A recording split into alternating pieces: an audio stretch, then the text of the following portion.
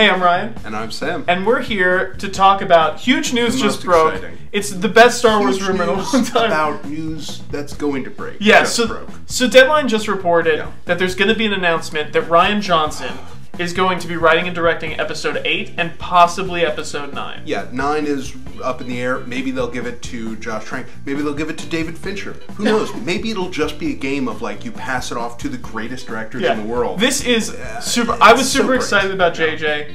This is beyond JJ. He seemed like an Yeah. obvious choice. Rian Johnson, for those of you who don't know, directed Brick, Brothers Bloom, and Looper. Yeah. All of which are brilliant films. Yes. This is not a crazy choice, but it's a pseudo risky choice and an interesting Yeah, one, which is the is- most exciting thing. It is a guy who has worked with, you know, reasonably large budgets, but nothing this huge. Mm-hmm. And also, his movies uh, don't, uh, with the exception of Looper, probably don't have the national recognition that you would go with if you wanted a safe choice. Yeah, and again, and the fact that he's not safe, but he's obviously a brilliant filmmaker, so he's safe that way.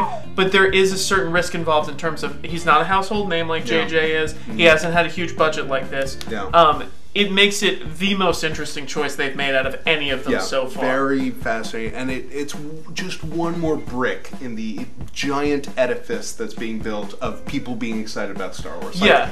everything they've done so far has just ramped it up. and not to be not to be uh, hyperbolic, but if you asked me to make a dream list of Star Wars directors, he Rian Johnson wouldn't even be on it because I wouldn't dream that they'd ever get him. Yeah, it like to do it or that they'd ever choose him to do it. Such a fantastically cool, out there, awesome choice. Yeah, so we're So- obviously really excited, but we wanted to put this out there so that we could have you guys comment below and let us know what you think of Rian Johnson directing the next two Star Wars movies, possibly. Yeah. Um, definitely the next one, as it should be announced. Um, so yeah, comment below, let us know. We really want to know what you guys are thinking, and we'll be commenting back. Until next time, I'm Ryan. And I'm Sam. Thanks for watching.